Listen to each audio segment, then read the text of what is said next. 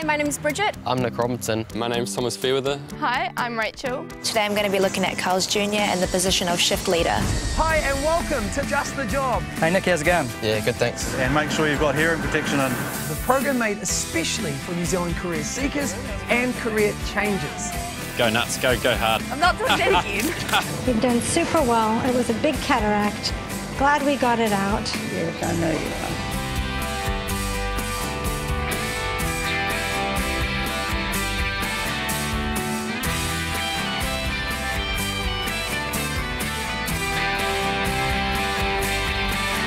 And welcome to Just the Job, the program that showcases the diverse range of careers that are out there just waiting for you.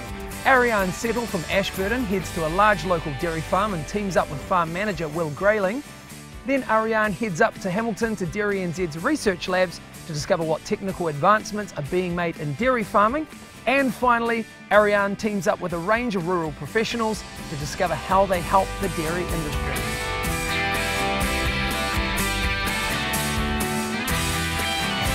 I'm Martin White. I'm a year 13 at Sacred Heart College and I've been riding horses since I was little. I'm going to see if a career in the equine industry is right for me. The New Zealand equine industry is a big player on the world stage, and there are lots of possible career opportunities for Martin to choose from. From thoroughbred racing, harness racing, breeding, and racecourse management. To give Martin a taster of the industry, he's going to meet horse breeders, spend some time at a harness racing stable, and sample a day in the life at one of New Zealand's top thoroughbred racing stables.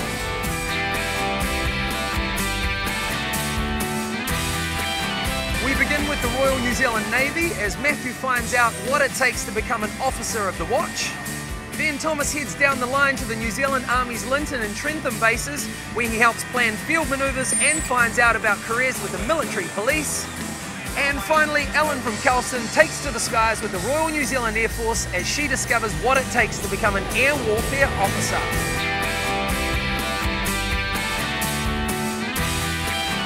We're here at New Zealand's largest supermarket as we join RP, who's discovering what's involved in a career in retail meat. Then we head to New Zealand's only glass bottle making factory in Penrose as Jake looks at starting a career in mechanical engineering. And to round off today's program, we're in Christchurch as Tony finds out about careers in the expanding heating, ventilation, and air conditioning industry.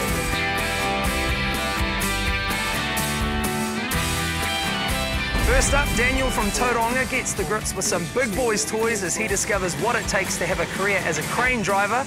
Then Brant from Whangarei flexes his muscles as he spends a couple of days sampling a career in the scaffolding industry.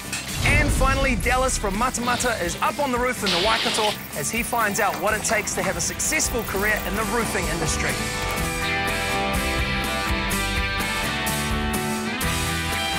In today's show, Mitchell from Auckland's North Shore is pumping iron as he checks out a career as a fitness trainer. Then Jaden discovers what's involved in becoming a qualified engineer as he checks out the infrastructure rebuild in Christchurch. And finally, Super Supremo Jono checks out a hot and spicy career with Pizza Hut.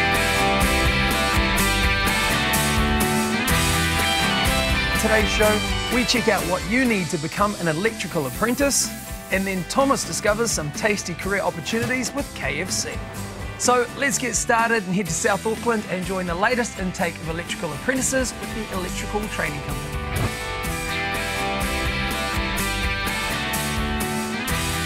We join Bridget as she discovers the diverse range of great career opportunities in the retail sector.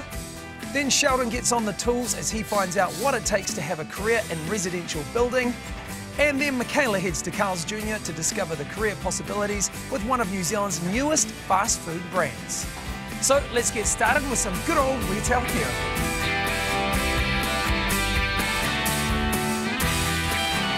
Here's a question for you. What's the difference between an optometrist and an ophthalmologist? Well, we're about to open your eyes.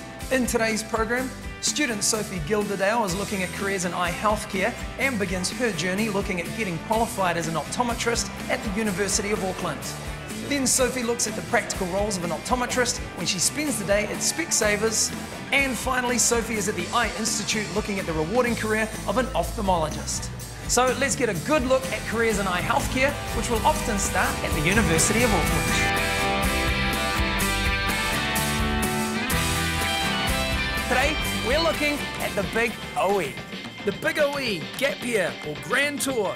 No matter what you call it, it's a Kiwi tradition. Usually involving extended travel in a foreign country, New Zealanders, young and not so young, have always had a strong desire to go forth and see the world. In this program, we're going to discover the various ways of making your OE a reality. Firstly, Rachel Kearney explores the preparations necessary for the traditional OE, where, armed with only a backpack, some maps, and some hard saved dollars, you go on your adventures. We discover how to get the best deals. We can look at flights 11 months in advance. Then we meet Drew Parker, a builder's apprentice from East Auckland who's heading off on a special OE to Africa, where he's going to put his building skills to use. It's Sort of becoming a reality that it's all happening. And finally, we meet Janelle Chitty, who discovers how to secure overseas work before she sets off so she's able to travel and get paid while on her adventure. Whatever the OE, invariably the experiences gained while travelling will broaden your horizons, you'll be exposed to new, exciting and challenging situations, and all this can certainly enhance your CV and your job prospects when you return to New Zealand. Hi and welcome to Just the Job. Today we've got a special program where George Keenan from Auckland's Red Beach is teaming up with Sarah from Careers New Zealand to discover the pluses and minuses of working for yourself.